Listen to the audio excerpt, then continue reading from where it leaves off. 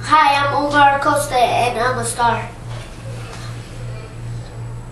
My mom likes post raisin because because it's it's yummy for me. Because my dad likes post raisin bread because it's it it tastes good, but I